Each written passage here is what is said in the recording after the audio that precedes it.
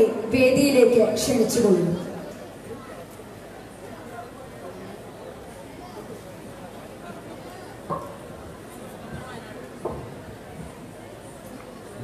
വ്യക്തിത്വം എന്ന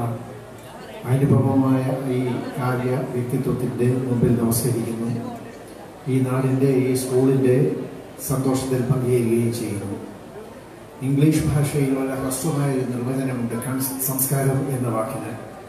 concern for the other എന്നതാണത് അവരുടെ ഉത്കർഷത്തിൽ അവരോടൊപ്പം സന്തോഷിക്കുന്നതിനും അവരുടെ അപകർഷത്തിൽ അവരുടെ ദുഃഖത്തിൽ അവന്റെ വേദനയിൽ ദുഃഖവും വേദനയും ഒക്കെ പങ്കിട്ടുകൊണ്ട് അവനോടൊപ്പം നിൽക്കുന്നതിന് കഴിയുന്ന സവിശേഷമായ ഒരു മാനസികാവസ്ഥയാണ് സംസ്കാരം എന്നാണ് ആ ചെറിയ വാക്ക് നമ്മോട് പറയുന്നത്. അതിന്റെ നിർവചനം നമ്മോട് പറയുന്നത്. ഇതാണ് സംസ്കാരത്തിന്റെ നിർവചനമെങ്കിൽ പലപ്പോഴും ഇതിന്റെ ഒരു ഭാഗം മാത്രമേ നമ്മോടൊപ്പം വരാറുള്ളൂ. അതായത് നമ്മോടൊപ്പം നിൽക്കുന്ന ഒരാൾക്ക് സങ്കടമുണ്ടായാൽ ഒരു വീഴ്ചയുണ്ടായാൽ ആ വീഴ്ചയിൽ ആ മനസ്സിനോടൊപ്പം നിൽക്കാൻ നമുക്ക് പലപ്പോഴും കഴിയും. എന്നാൽ ഒരു ഉത്കർഷമുണ്ടായാൽ ഒരു ഉയർച്ചയുണ്ടായാൽ ഒരു ആനന്ദാനുഭവം ഉണ്ടായാൽ അത് പങ്കിട്ടുകൊണ്ടൊപ്പം നിൽക്കാൻ പലപ്പോഴും പലർക്കും കഴിയാറില്ല. അത് ഒരു ഉരകലായിട്ട് നോക്കിയാൽ ഒരാൾക്കൊരു ഉയർച്ച ഉണ്ടാകുമ്പോൾ ഉത്കർഷം ഉണ്ടാകുമ്പോൾ അത് നമ്മുടെ കൂടി ഉത്കർഷമാണ് എന്ന് ചിന്തിക്കുന്ന ഒരു മാനസികാവസ്ഥ നമുക്കുണ്ടോ എന്നത് ഒരു ഉരകല്ലാക്കി നോക്കിയാൽ നമുക്ക് നമ്മൾ സംസ്കാരമുള്ളവരാണോ എന്ന് തിരിച്ചറിയാൻ കഴിയുമെന്നാണ് പറയുക. അങ്ങനെ നോക്കിയാൽ ഈ നാടിനോളം സംസ്കാരമുള്ള മറ്റൊരു നാടില്ല എന്ന് പറയേണ്ടി വരും. അക്കിത്തത്തിന് ജ്ഞാനപീഠ പുരസ്കാരം ലഭിക്കുമ്പോൾ അദ്ദേഹത്തിന്റെ സന്തോഷത്തോടൊപ്പം നിൽക്കുന്നു ഈ നാട്. അദ്ദേഹത്തിന്റെ സന്തോഷത്തോടൊപ്പം എന്ന് പറയാമോ എന്ന് എനിക്ക് നിശ്ചയമില്ല. വളരെ നിസ്സംഗമായ എമിനൻസ് നിറഞ്ഞ ഒരു ഋഷിത്വത്തോടു കൂടിയ മനസ്സിന്റെ ഉടമയാണ് അദ്ദേഹം. അതുകൊണ്ട് ഈ സന്തോഷ സന്താപങ്ങൾക്കൊക്കെ അതീതമായ ഒരു മാനസികാവസ്ഥയിലാണ് ഏതാണ്ട് ഋഷിത്വത്തിന്റെ എന്ന് പറയാവുന്ന വിധത്തിലുള്ള ഒരു മാനസികാവസ്ഥയിലാണ് അക്കിത്തം എന്നാണ് ഞാൻ കരുതുന്നത് അതുകൊണ്ട് ജ്ഞാനപീഠം ലഭിച്ചു എന്നുള്ളത് കൊണ്ട് പ്രത്യേകമായ ഒരു ആനന്ദത്തിന്റെ സ്പന്ദനമൊക്കെ അദ്ദേഹത്തിന്റെ മനസ്സിലുണ്ടാകുമോ എന്ന് എനിക്കറിയില്ല. അദ്ദേഹത്തിന്റെ ഗുരുനാഥനായ ഇടശ്ശേരി. ഇടശ്ശേരിക്ക് കേന്ദ്ര സാഹിത്യ അക്കാദമി അവാർഡ് ലഭിച്ചതിന് ശേഷമാണ് കേരള സാഹിത്യ അക്കാദമി അവാർഡ് ലഭിച്ചത്. കേന്ദ്ര സാഹിത്യ അക്കാദമി അവാർഡ് ലഭിച്ച ഒരു നാഷണൽ റൈറ്റ് എന്ന രീതിയിൽ അംഗീകരിക്കപ്പെട്ടു. ഈ സാഹചര്യത്തിൽ ഇനി കേരള സാഹിത്യ അക്കാദമിയുടെ അവാർഡ് അങ്ങ് വാങ്ങുമോ എന്ന് അന്ന് പത്രക്കാരൻ ഇടശ്ശേരിയോട് ചോദിച്ചപ്പോൾ ഇടശ്ശേരി ഒരു അനക്ഡോട്ട് മാതിരി ഒരു കാര്യം മറുപടിയായിട്ട് മുമ്പോട്ട് വെച്ചു. അദ്ദേഹം പറഞ്ഞു നമ്മുടെ വീട്ടിലെ കൊച്ചു കൊച്ചു കുഞ്ഞുങ്ങളുണ്ട്. ഈ കുഞ്ഞുങ്ങൾ വന്നിട്ട് ആന കളിക്കണമെന്ന് പറയുമ്പോൾ നമ്മൾ അവരുടെ മുമ്പിൽ ഇങ്ങനെ കുഞ്ഞിൽ നിന്ന് കൊടുക്കും. ഈ കുട്ടികൾ ഊഴം വെച്ച് ഓരോരുത്തരായിട്ട് വന്നിട്ട് നമ്മളുടെ പുറത്ത് കയറി ഇരുന്നിട്ട് ഇങ്ങനെ ആന കളിച്ചിട്ട് പോകും. ഒരു കുട്ടി ഒരു കൊച്ചു കുഞ്ഞ് കുറേ വൈകിയാണ് വന്നതെന്നിരിക്കട്ടെ. അങ്ങനെ വൈകിയാണ് വന്നത് എങ്കിൽ ആ കുഞ്ഞിനോട് നിന്നെ കളിപ്പിക്കില്ല നീ പോ എന്ന് പറഞ്ഞ് നമ്മൾ തള്ളിക്കളയുമോ എന്ന് ചോദിച്ചു. പുരസ്കാരങ്ങളെ അങ്ങനെ കാണേണ്ടതുള്ളൂ എന്നാണ് ദശരി സൂചിപ്പിച്ചത്. ആ വിധത്തിലുള്ള ഒരു ഒരു സവിശേഷമായ മാനസികാവസ്ഥ ഇടശ്ശേരിയെ പോലെ അക്കിത്തത്തെ പോലെയുള്ള ആളുകൾക്കൊക്കെ ഉണ്ട് എന്നുള്ളത് കൊണ്ടാണ് ഞാൻ പറയുന്നത്. ഒരു പ്രത്യേകമായ ആനന്ദത്തിന്റെ സ്പന്ദനം ഇപ്പോൾ അക്കിത്തത്തിന്റെ മനസ്സിലുണ്ടോ എന്ന് എനിക്കറിയില്ല. അതിനൊക്കെ അപ്പുറത്താണ് അദ്ദേഹം എന്നാണ് എനിക്ക് തോന്നുന്നത്. അങ്ങനെയുള്ള ഒരു തലത്തിൽ സഞ്ചരിക്കുന്ന മഹാനായ ഒരു കവിയെ ആദരിക്കുക എന്ന് പറയുന്നത് നമ്മൾ നമ്മളോട് ചെയ്യുന്ന ഒരു നന്ദി പ്രകടനമാണ് സത്യത്തിൽ അദ്ദേഹത്തിന് നന്ദിയുടെ ഒന്നും ആവശ്യമില്ല. നമ്മൾ ഇത് ചെയ്തില്ലെങ്കിൽ നമ്മളൊരു ഉചിതജ്ഞതയുള്ളവരാവില്ല എന്ന് നമ്മളുടെ മനസ്സ് തന്നെ നമ്മെ കുറ്റപ്പെടുത്തുമെന്നുള്ളത് കൊണ്ടാണ് ഈ വിധത്തിലുള്ള ഒരു ആദരം നമ്മൾ അദ്ദേഹത്തിന് അർപ്പിക്കുന്നത്. സത്യത്തിൽ ഇതുപോലെയുള്ള മഹാന്മാരായ കവികളെ അനുബോധിക്കേണ്ടത് ഏത് വിധത്തിലാണ് എന്നുള്ളത് ആലോചിക്കേണ്ടതുണ്ട്. സൗന്ദര്യലഹരിയിൽ ശങ്കരാചാര്യര് ഒരു സമർപ്പണ ശ്ലോകം സമർപ്പണ ശ്ലോകത്തിൽ ഒരു കാര്യം പറയുന്നുണ്ട്. പ്രദീപജ്വാലാഭിർ ദിവസജന നീരാജന വിധി എന്ന് തുടങ്ങുന്ന ആ സമർപ്പണ ശ്ലോകത്തിൽ സൂര്യനെ സൂര്യനിൽ നിന്നുള്ള കിരണങ്ങൾ കൊണ്ട് അർച്ചിക്കേണ്ടതിനെ കുറിച്ചും ചന്ദ്രനെ ചന്ദ്രനിൽ നിന്ന് തന്നെയുള്ള കിരണങ്ങൾ കൊണ്ട് അർച്ചിക്കേണ്ടതിനെ കുറിച്ചും കടലിനെ കടലിൽ നിന്നുള്ള ജലം കൊണ്ട് തന്നെ കടലിന് തർപ്പണം ചെയ്യേണ്ടതിനെ കുറിച്ചുമാണ് പറയുന്നത്. അപ്പോൾ ഏറ്റവും ഉചിതമായ ആദരം ഏറ്റവും ഉചിതമായ അർച്ചന എന്ന് പറയുന്നത് അക്കിത്തത്തെ പോലെ ഒരു കവിയെയാണ് ആദരിക്കുന്നതെങ്കിൽ അക്കിത്തം കവിതകളുടെ ആലാപനം തന്നെയാണ്. അങ്ങനെ നോക്കുമ്പോൾ പി രാമനിവിടെ അക്കിത്തത്തിന്റെ വളരെ ശ്രദ്ധേയമായ ഒരു കവിത ആലപിച്ചു. ആ നിലയ്ക്ക് നോക്കുമ്പോഴും തീർച്ചയായും അദ്ദേഹത്തിന് അർഹമായ ഉചിതജ്ഞതയോടുകൂടിയ ഒരു ആദരമാണ് ഈ നാട് കൊടുത്തത് എന്ന് കാണാൻ വിഷമവുമില്ല. അക്കിത്തം നമുക്ക് ചെയ്തു തന്നിട്ടുള്ള കാര്യങ്ങൾക്കൊന്നും നമുക്ക് തിരികെ ഒന്നും കൊടുക്കാൻ പറ്റില്ല. ഇതുപോലെ ഒരു കവി എത്രയോ നൂറ്റാണ്ടുകൾക്കിടയിൽ ഒരാൾ എന്ന രീതിയിലാവും ഉണ്ടാവുക ചങ്ങമ്പുഴ യവനികയിൽ പറയുന്ന രണ്ട് വരിയുണ്ട്. എത്ര ലോകം തപസ് ചെയ്താലാണ് എത്തിടുന്നത് ഒരിക്കലും ശബ്ദം. ഉത്തമ കവി നന്നായി അറിവോ വൃത്തിലായതിൻ ദിവ്യ മഹത്വം. ഈ സമ്മേളനം സത്യത്തിൽ അക്കിത്തത്തോട് പറയുന്നത് ഇത് തന്നെയാണ്. എത്ര ലോകം തപസ് ചെയ്താലാണ് എത്തിടുന്നത് ഒരിക്കലും ശബ്ദം. ഉത്തമ കവി നന്നായി അറിയൂ ഹൃത്തിൽ ആയതിൽ ദിവ്യ മഹത്വം ആ ദിവ്യ മഹത്വം ഈ നാടറിയുന്നു ഈ സ്കൂൾ അറിയുന്നു ഈ രാജ്യമാകെ തന്നെ അറിയുന്നു എന്നുള്ളത് കൊണ്ടാണ് അദ്ദേഹത്തിന് ഈ നാട്ടിൽ നിന്നുള്ള ആദരം മുതൽ ദേശീയ തലത്തിലുള്ള ജ്ഞാനപീഠ പുരസ്കാരം വരെ ലഭിച്ചത് എന്ന് നമുക്കറിയാം.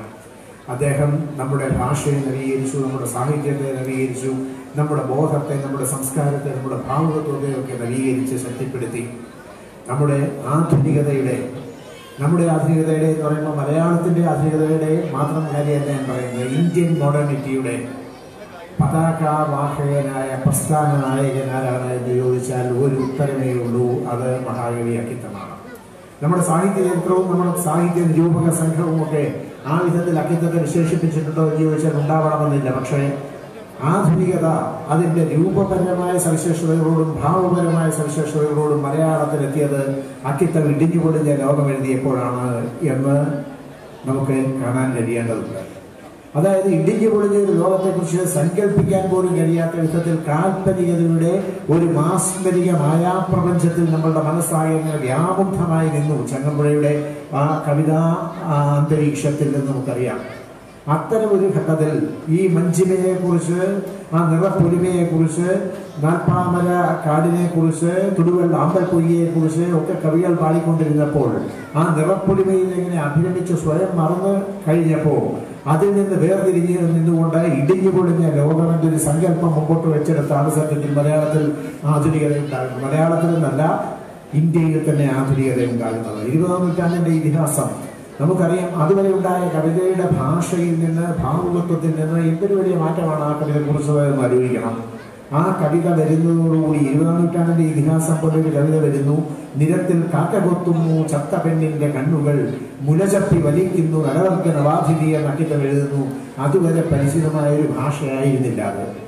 നമ്മുടെ ഭാവുകത്വത്തിന് വളരെ പെട്ടെന്ന് തലയാട്ടി അംഗീകരിക്കാൻ കഴിയുന്ന ഒന്നായിരുന്നില്ല അത്. ഈ വാക്കുകളൊക്കെ കവിതയിൽ പാടുണ്ടോ എന്ന് പോലും പലരും അങ്കാടിച്ചു പക്ഷേ ആ ആധുനികതയുടെ പതാകാവാഹകത്വം അദ്ദേഹത്തിലേക്ക് എത്തിയത് ഈ കവിതകളിലൂടെയാണ്. നമ്മുടെ ഭാഷയെ നവീകരിച്ചത് എങ്ങനെയാണ് അക്കറ്റമെന്ന് ചോദിച്ചാൽ ഇങ്ങനെയാണ് എന്ന് പറയേണ്ടി വരും. ആ വിധത്തിൽ നമ്മുടെ ഭാഷയെ ഒന്ന് ഞെട്ടിച്ച് ഉണർത്തിയെടുത്ത് ചടുലമാക്കി റാഡിക്കലൈസ് ചെയ്ത ഒരു മഹാനായ കവി. ആ കവിക്ക് സത്യത്തിൽ എന്ത് കൊടുത്താലാണ് മതിയാവുക? ഈ വിധത്തിൽ ഭാവുകത്വപരമായ വലിയൊരു പരിണാമത്തിന് നാന്ദി കുറിച്ചുകൊണ്ട് ഇടപെട്ടു എന്നുള്ളത് തന്നെയാണ് അക്കിത്തത്തിന്റെ ഏറ്റവും വലിയ സംഭാവന എന്ന് എനിക്ക് തോന്നുന്നു. അദ്ദേഹത്തിന്റെ അദ്ദേഹത്തിന്റെ ഒരു ഒരു ഇന്ത്യൻനെസ് ഉണ്ട്. ഒരു പക്ഷേ കുറേയേറെ തെറ്റിദ്ധരിക്കപ്പെടാൻ ഇടവന്നിട്ടുണ്ട് ആ ഇന്ത്യൻ ഇന്ത്യൻനെസ് അങ്ങനെ തെറ്റിദ്ധരിക്കേണ്ട കാര്യമില്ല. അദ്ദേഹത്തിന്റെ ഇന്ത്യൻനെസ് എന്ന് പറയുന്നത് ഏത് വിധത്തിലുള്ള ഇന്ത്യൻനെസ് ആണ് എന്ന് ആലോചിക്കണം. നമ്മളുടെ ഈ രാജ്യം ഈ രാജ്യത്തിൽ മതങ്ങൾ പോലും രൂപപ്പെടുന്നതിന് മുമ്പ് ഉണ്ടായി വന്ന ചില കൺസെപ്റ്റുകളുണ്ട് അതിന്റെ സാരസത്തെയാണ് അദ്ദേഹത്തിൽ കവിതയുടെ ഒരു ആശയമായിട്ട് കവിതയുടെ ഒരു ഭാവമായിട്ട് ഊറിക്കൂടിയത് എന്നതാണ് സത്യം. ഏത് വിധത്തിലാണ് അത്? വസുദൈവ കുടുംബങ്ങളുടെ സങ്കല്പം. എത്ര വിശ്വം ഭഗത്യേക നീടം ലോകമാകെ ഒരു ഒരു കിളിക്കൂടാണ് എന്ന സങ്കല്പം. ഈ വിധത്തിലുള്ള സങ്കല്പം അദ്ദേഹത്തിനുണ്ട്. ഈ എത്ര വിശ്വം ഭവത്യേക നീടം എന്ന ആ സങ്കല്പം ലോകമാകെ ഒരു തറവാടാണ് എന്ന ആ സങ്കല്പം. ആ സങ്കല്പവും പ്രോലിറ്റേറിയറ്റ് ഇന്റർനാഷണലിസം എന്ന സങ്കല്പവുമായി എത്ര തോറോട് തോൾ ചേർന്ന് പോകുന്നു എന്ന് തിരിച്ചറിയാൻ കഴിയാത്ത ആളുകൾ. അക്കിത്തത്തെ ഏതെങ്കിലുമൊക്കെ രീതിയിൽ ആക്ഷേപിക്കുന്നുണ്ടെങ്കിൽ ആ ആക്ഷേപമൊന്നും മറുപടി അർഹിക്കുന്നില്ല എന്നുള്ളതാണ് സത്യം. പുരോഗമന സാഹിത്യ പ്രസ്ഥാനങ്ങൾ പുരോഗമന രാഷ്ട്രീയ പ്രസ്ഥാനങ്ങൾ അക്കിത്തത്തെ പോലെ ഒരു കവിയെ ഏത് വിധത്തിലാണ് വിലയിരുത്തേണ്ടത് എന്നതൊരു ചോദ്യം ജ്ഞാനപീഠ പുരസ്കാരം ലഭ്യത്തിൽ നിന്ന് മലയാളത്തിൽ വളരെ വ്യാപകമായി ഉയർന്നു വരികയും ചർച്ച ചെയ്യപ്പെടുകയും ചെയ്തു എന്ന് നമുക്കറിയാം. ഏത് വിധത്തിലാണ് എന്നതിന് ഇ എം എസ് തന്നെ വളരെ മുമ്പേ മറുപടി പറഞ്ഞിട്ടുണ്ട്. പുരോഗമന രാഷ്ട്രീയ പ്രസ്ഥാനം ഏത് വിധത്തിലാണ് ഒരു കവിയെ കാണേണ്ടത്? ഇ എം എസ് വളരെ വ്യക്തമായിട്ട് പെരുമ്പാവൂർ ലേഖയ്ക്ക് ശേഷമുള്ള ഘട്ടത്തിൽ പല പ്രബന്ധങ്ങളിലായിട്ട് പറഞ്ഞിട്ടുണ്ട്. അദ്ദേഹം പറഞ്ഞ രണ്ട് കാര്യങ്ങളാണ്. ഒന്നെന്താണെന്ന് പറഞ്ഞാൽ ചില ഈ കവിതയിലെ ഉള്ളടക്കത്തെ ഭാവത്തെ മാത്രമേ നമ്മൾ നോക്കിയുള്ളൂ ഒരു വലിയ ഘട്ടത്തിന് അതുപോലെ രൂപത്തെ കൂടി നോക്കേണ്ടതുണ്ട്. കാരണം ഈ രൂപം എന്ന് പറയുന്നത് ഒരു ആശയത്തെ വഹിക്കാനും നമ്മുടെ മനസ്സിലേക്ക് സംപ്രേഷണം ചെയ്യാനും ഒഴിച്ചുകൂടാനാവാത്തതാണ് ആ നിലയ്ക്ക് രൂപത്തിന് പ്രാധാന്യമുണ്ട് എന്ന് അദ്ദേഹം പറഞ്ഞു. അതേപോലെ പ്രതിജ്ഞാബദ്ധതയോടുകൂടി പ്രതിബദ്ധതയോടെ എഴുതുന്നവരുണ്ട്. അവരെ മാത്രമേ കണ്ടിരുന്നുള്ളൂ. എന്നാൽ അങ്ങനെ പ്രതിബദ്ധതയോടും പ്രഖ്യാപിച്ചുകൊണ്ടല്ലാതെ എഴുതുന്ന ധാരാളം ആളുകളുമുണ്ട്. അവരിൽ ക്രിയേറ്റിവിറ്റി ഉണ്ട് സർഗാത്മകതയുണ്ട്. ആ സർഗാത്മകതയെ നമ്മൾ അംഗീകരിക്കേണ്ടതുണ്ട്. അതിൽ നമുക്ക് വീഴ്ച പറ്റി എന്നും പറഞ്ഞു. ഈ വിധത്തിലുള്ള തിരുത്തലുകളോടുകൂടി പുരോഗമന സാഹിത്യ പ്രസ്ഥാനത്തെ നവീകരിച്ച് മുമ്പോട്ട് പോകാൻ വേണ്ട വഴിയൊരുക്കി തന്നു ഇ എം എസ് ആലോചിക്കണം അതിനോട് ചേർത്ത് വെച്ചുകൊണ്ട് വേണം അക്കിത്തത്തിന്റെ ഒക്കെ സംഭാവനകളെ കാണേണ്ടത്. അപ്പോ പ്രതിബദ്ധത വിളിച്ച് പ്രഖ്യാപിച്ചുകൊണ്ടല്ലാതെ എഴുതുന്നവരെ പോലും അംഗീകരിക്കേണ്ടതുണ്ട് എന്ന ഒരു കാഴ്ചപ്പാടിലേക്ക് ഇടതുപക്ഷം ഉണരേണ്ടതുണ്ട്. ഇ എം എസ് ആ വിധത്തിൽ ഉണർത്താനാണ് ഇടപെട്ടത്. ഇ എം എസ് തീർച്ചയായിട്ടും ഇ എം എസ് ഒരു വ്യക്തി കുറച്ച് വർഷങ്ങൾക്ക് മുമ്പ് മലയാളത്തിലെ ഒരു ടെലിവിഷന് വേണ്ടി അക്കിത്തവുമായി ഞാൻ അഭിമുഖ സംഭാഷണം നടത്തിയത് ഓർമ്മിക്കുകയാണ്. ആ അഭിമുഖ സംഭാഷണ വേളയിൽ അക്കിത്തം ഇ എം എസിനെ കുറിച്ച് പറയുമ്പോൾ വിങ്ങിപ്പൊട്ടി വിങ്ങിപ്പൊട്ടി വിരുദ്ധ ഘട്ടനായിട്ട് അങ്ങനെ അദ്ദേഹം ഇരുന്നു പോയി ഒന്നും പറയാനാവാത്ത വിധത്തിൽ. എന്നിട്ട് ഒരു ഇടവേള ക്യാമറമാനോട് ക്യാമറയൊക്കെ ഓഫ് ചെയ്യാൻ പറഞ്ഞിട്ട് ഒരു ഇടവേളയ്ക്ക് ശേഷം മാത്രമേ അദ്ദേഹത്തിന് തുറന്ന് സംസാരിക്കാൻ കഴിഞ്ഞുള്ളൂ. ആ ഇന്നത്തെ കമ്മ്യൂണിസ്റ്റ് പാർട്ടിയുടെ രഹസ്യ രേഖകൾക്ക് വേണ്ടി റെയ്ഡ് നടത്തിയ പശ്ചാത്തലവും അനുഭവവും ഉണ്ട് എന്ന് ആലോചിക്കണം. അദ്ദേഹം പുരോഗമന പ്രസ്ഥാനങ്ങൾക്ക് വിരുദ്ധമായിട്ടൊന്നും എഴുതിയിട്ടില്ല എന്ന് ആലോചിക്കണം. ചില കവികളൊക്കെ ചിലപ്പോഴൊക്കെ ചില തിരുത്തലുകൾക്ക് വേണ്ടിയുള്ള അഭ്യർത്ഥനകൾ കവിതയിലൂടെ നടത്തിയെന്ന് വരാം. അങ്ങനെയുള്ള തിരുത്തലുകൾക്ക് വേണ്ടിയുള്ള ഇടപെടലുകൾ മലയാളത്തിലെ മിക്കവാറും എല്ലാ പുരോഗമന കവികളും ആ, ആ, ആ, നടത്തിയിട്ടുണ്ട് എന്നുള്ളത് ഓർക്കണം. ഒ എൻ വിയെ പോലെയുള്ള കഴിവുകൾ നടത്തിയിട്ടുണ്ട്. എവിടെയാ വാഗ്ദത്ത ഭൂമി ചോദിക്കൂ ഞാൻ എവിടെയാ സൗവർണ ഭൂമി നിലവിളി ചൊരുമുറി കൂടി പകർക്കിളി ചിറകടി ചെങ്ങോ പറഞ്ഞു ചുടുകാറ്റൽ അജ്ഞാത ശത്രുവിൻ സേന പോൽ ചുഴലു മാർത്തലയ്ക്കുന്നു ഇവിടെ ഈ മരുഭൂമിൽ നിന്ന് ചോദിപ്പു ഞാൻ എവിടെയാ സൗവർണ ഭൂമി എന്ന് ഒ എൻ വിയെ പോലെ പോലും ചോദിച്ചിട്ടുണ്ട്. അതുകൊണ്ട് ഒ എൻ ഏറെ ഏതെങ്കിലും ഒരു ക്യാമ്പിലാണ് എന്നൊന്നും ഇവിടുത്തെ ഇടതുപക്ഷമൊന്നും ഒരിക്കലും പറഞ്ഞിട്ടില്ല എന്നുള്ളതും ഇതിനോട് ചേർത്ത് വെച്ച് തന്നെ നമ്മൾ ആലോചിക്കേണ്ട കാര്യമാണ്. മർദ്ദകരണ സ്വാധീനയോർക്കും കത്തിയാൻ ആത്മഹത്യ ചെയ്യാതെ പോക ഭൗതിക തൃപ്തികൾ മധ്യമേഖലയിൽ മയങ്ങി വീഴാതെ പോക ഞങ്ങൾ കിനാബ് കണ്ടോരാ സ്നേഹമാർഗത്തിലൂടെ നിങ്ങളെന്ന് വൈലോപ്പിടി മാഷ് എഴുതിയിട്ടുണ്ട്. വൈലോപ്പിടി മാഷ് പുരോഗമേള സാഹിത്യ സംഘത്തിന്റെ പ്രസിഡന്റ് ആയിരുന്ന ആളാണെന്ന് ആലോചിക്കണം. ഇവരൊക്കെ ഏതാണ്ട് ഒരു സംഖ്യാത്മക പ്രതിപക്ഷം സൗവർണ പ്രതിപക്ഷം എന്ന് പറയുമ്പോൾ വൈലോപ്പിടി ഭാഷയിലെ ഭാഷയിൽ. ആ വിധത്തിൽ ഒരു സൗവർണ പ്രതിപക്ഷം ആയി നിന്നുകൊണ്ട് ഇടപെട്ടത് പുരോഗമന രാഷ്ട്രീയ പ്രസ്ഥാനം ഒരു വിധത്തിലുള്ള ഗ്ലാനിയും കൂടാതെ കൂടുതൽ കൂടുതൽ തിളക്കമിട്ട ഒരു തലത്തിലേക്ക് ഉയരണം എന്ന പ്രാർത്ഥനയായിട്ടാണ് എന്ന് ആലോചിക്കണം. ആ രീതിയിൽ ഇടപെട്ട അക്കിത്തവടങ്ങുള്ള ആളുകളെ ആ ചരിത്ര പശ്ചാത്തലത്തിൽ കിടന്ന് നിർത്തി വിലയിരുത്താനുള്ള പരിമാണവും വിവേകവും പുരോഗമന സാഹിത്യ പ്രസ്ഥാനത്തിന് പുരോഗമന രാഷ്ട്രീയ പ്രസ്ഥാനത്തിന് ഒക്കെ ഉണ്ടാകേണ്ടതുണ്ട് എന്നൊരു കാര്യം കൂടി അനുബന്ധമായി പറയണമെന്ന് എനിക്ക് തോന്നുകയാണ്. ഇപ്പോ അന്റോണിയോ ഗ്രാംഷിയെ കുറിച്ച് പുരോഗമന രാഷ്ട്രീയ പ്രസ്ഥാനങ്ങളും പുരോഗമന സാഹിത്യ പ്രസ്ഥാനങ്ങളും ഒക്കെ നിരന്തരം സംസാരിച്ചു കൊണ്ടിരിക്കുന്നുണ്ട് ഈ അന്റോണിയോ ഗ്രാംഷയുടെ ദ മോഡേൺ പ്രിൻസ് എന്നൊരു കൃതിയുണ്ട്. അദ്ദേഹത്തിന്റെ ജയിലറയിൽ നിന്ന് പിന്നീട് കിട്ടിയതാണ് ദ മോഡേൺ പ്രിൻസ് എന്ന കൃതി. ഈ the modern prince Antonio Gramsci എഴുതിയത് ഒരു കൃതിയെ ഉപജീവിച്ചാണ്. അതായത് പതിനേഴാം നൂറ്റാണ്ടിലോ പതിനെട്ടാം നൂറ്റാണ്ടിലോ മറ്റോ ജീവിച്ചു മരിച്ച മാക്കിയവന്റിയുടെ ദ പ്രിൻസിനെ ഉപജീവിച്ച് എഴുതിയതാണ്. ഇരുപതാം നൂറ്റാണ്ടിലെ കമ്മ്യൂണിസ്റ്റ് സൈദ്ധാന്തികനായ അന്റോണിയോ ഗ്രാംഷിക്ക് ഈ പതിനാറാം നൂറ്റാണ്ടിലെ പതിനേഴാം നൂറ്റാണ്ടിലെ ദ പ്രിൻസ് ഉപയോഗിക്കണം എന്ന് വന്നത് എന്തുകൊണ്ടാണ്? അപ്പോ നമ്മുടെ പൂർവ സംസ്കൃതിയിൽ എവിടെയൊക്കെയോ വിലപ്പെട്ട ചില രത്നങ്ങളുണ്ടെന്നും ഊർജ കണങ്ങളുണ്ടെന്നും ആ ഊർജ ഘടികളിൽ നിന്നുള്ള ഊർജ കണങ്ങൾ കൊണ്ട് നമുക്ക് പുതിയ കാലത്തിന്റെ ആവശ്യത്തിനനുസരിച്ചുള്ള വിളക്കുകൾ തെളിയിക്കാനാവുമെന്നും ഒക്കെ തിരിച്ചറിഞ്ഞു. ആ വിധത്തിൽ ചരിത്രത്തെ സംസ്കൃതിയെ ഒക്കെ വിലയിരുത്തുന്ന ഒരു ഒരു മാറ്റം പുരോഗമന സാഹിത്യ പ്രസ്ഥാനത്തിനായി ഉണ്ടായിട്ടുണ്ട്. ന്യൂ ലെഫ്റ്റ് എന്ന് പറഞ്ഞൊരു മൂവ്മെന്റ് വന്നു. ഒരു കാലത്ത് കമ്മ്യൂണിസ്റ്റുകാരൻ വിഷാദത്തെക്കുറിച്ച് എഴുതിക്കൂടാ പ്രണയത്തെ കുറിച്ച് എഴുതിക്കൂടാ. കമ്മ്യൂണിസ്റ്റുകാരന് പ്രണയമില്ലേ? കമ്മ്യൂണിസ്റ്റുകാരന് നിരാശ ഉണ്ടായിക്കൊള്ളണമെന്നില്ലേ കമ്മ്യൂണിസ്റ്റുകാരന് വിഷാദാനുഭവം ഉണ്ടായിക്കൊള്ളണമെന്നില്ലേ അതൊക്കെ ഉണ്ടാകാമെന്നും അതൊക്കെ എഴുതിയാൽ അതൊക്കെ കമ്മ്യൂണിസ്റ്റ് വിരുദ്ധമല്ല എന്നുമുള്ള ഒരു വെളിച്ചം ഈ പ്രസ്ഥാനത്തിലേക്ക് വളർത്തിയത് ന്യൂ ലെഫ്റ്റ് മൂവ്മെന്റ് ആണ് ആ ന്യൂ ലെഫ്റ്റ് മൂവ്മെന്റിനെ ആദ്യഘട്ടത്തിലൊക്കെ ഒരു സാമ്രാജ്യത്വാനുകൂല അപരേഷനായി കണ്ടവരുണ്ട്. പക്ഷെ അതിനെ തിരുത്തിക്കൊണ്ട് ന്യൂ ലെഫ്റ്റ് മൂവ്മെന്റ് കമ്മ്യൂണിസ്റ്റ് പ്രസ്ഥാനത്തിന്റെ സാഹിത്യ സംബന്ധിയായ കാഴ്ചപ്പാടുകളെ നവീകരിക്കുകയും ശക്തിപ്പെടുത്തുകയും ചെയ്തു. ആ ന്യൂ ടെസ്റ്റ്മെന്റിന്റെ പിന്മുറക്കാരായിട്ടാണ് വിനോദമേള സാഹിത്യ സംഘം മാറേണ്ടത്. അതല്ലെങ്കിൽ കാലത്താൽ പിന്തള്ളപ്പെട്ടു പോകും എന്ന് ഓർമ്മിപ്പിക്കാൻ കൂടി ഞാൻ ഈ അവസരം ഉപയോഗിക്കുകയാണ്.